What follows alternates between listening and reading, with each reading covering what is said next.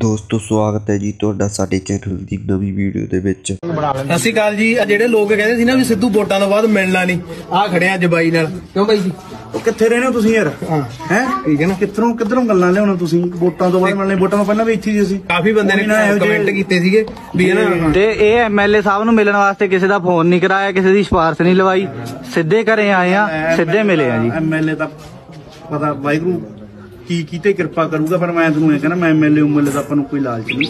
ਇਹੋ ਜੀਆਂ ਤੀਜੇ ਦਰਜੇ ਦੀਆਂ ਗੱਲਾਂ ਨਾ ਕਰਿਆ ਕਰੋ ਮੇਰਾ ਵੀਰ ਪਿਆਰ ਮੁਹੱਬਤ ਨਾਲ ਰਹੋ ਠੀਕ ਹੈ? ਇਹੋ ਜੀਆਂ ਨਫ਼ਰਤਬਾਜ਼ੀ ਵਾਲੀਆਂ ਗੱਲਾਂ ਉਹ ਆਏ ਨਹੀਂ ਅੱਜ ਉਹ ਨੂੰ ਤੁਸੀਂ ਮੈਥੋਂ ਕਿਆ ਲੈਣਾ। ਆਪਦਾ ਕੰਮ ਕਰੋ ਰੋਟੀ ਪਾਣੀ ਛਕੋ ਉਹਦਾ ਹਰੇਕ ਦੀ ਆਪਦੀ ਜ਼ਿੰਦਗੀ ਹੈ? ਜਿੱਥੇ ਜਾਣਾ ਪਿਆ ਉਹਨੂੰ ਜਾਣਾ ਵੀ ਪਊ ਜਿੱਥੇ ਜਿਹਨੇ ਰਹਿਣਾ ਉਹ ਰਹਿਣਾ ਵੀ ਪਊ। ਠੀਕ ਹੈ? ਇਹੋ ਜਿਹੇ ਕੰਮਾਂ ਤੋਂ ਗਰੇਜ਼ ਕਰਿਆ ਕਰੋ। ਆਪਦਾ ਸ਼ਾਂਤੀ ਨਾਲ ਆਪਦਾ ਕੰਮ ਕਰੋ ਵਾਹਿਗੁਰੂ ਦਾ ਨਾਮ ਲਓ। ਲੜਾਈਆਂ ਝਗੜਿਆਂ 'ਚ ਨਫ਼ਰਤਬਾਜ਼ੀ ਦੀ ਚੁਗਲੀਆਂ ਕੁੜੀਆਂ 'ਚ ਕੁਛ ਨਹੀਂ ਰੱਖਿਆ ਨਾ? ਸਾਰਿਆਂ ਨੂੰ ਸਾਰਿਆਂ ਨੂੰ ਪਿਆਰ ਕਰਦੇ ਆ ਸਾਰਿਆਂ ਨੂੰ ਸਤਿਕਾਰ ਕਰਦੇ ਆ ਇਹ ਕੰਮ ਨਾ ਕਰਿਆ ਕੋਈ ਚੱਕਰ ਨਹੀਂ ਨਾ? ਡਾਊਟ ਬਾਕੀ ਜਿਹਨੇ ਮਿਲਣਾ ਉਹੀ ਹੁੰਦਾ। ਹਾਂਜੀ।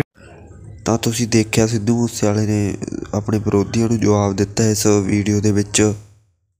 ਤਾਂ ਤੁਹਾਡਾ ਕੀ ਕਹਿਣਾ ਇਸ ਵੀਡੀਓ ਦੇ ਬਾਰੇ? ਆਪਣੇ ਵਿਚਾਰ ਕਮੈਂਟਾਂ 'ਚ ਜ਼ਰੂਰ ਦੱਸਿਓ। ਜੇਕਰ ਵੀਡੀਓ ਵਧੀਆ ਲੱਗੀ ਹੋਵੇ ਲਾਈਕ ਤੇ ਸ਼ੇਅਰ ਵੀ ਜ਼ਰੂਰ ਕਰਿਓ। ਹੋਰ ਅਪਡੇਟਸ ਦੇ ਲਈ ਆਪਣਾ ਚੈਨਲ ਜ਼ਰੂਰ ਸਬਸਕ੍ਰਾਈਬ ਕਰਿਓ ਧੰਨਵਾਦ।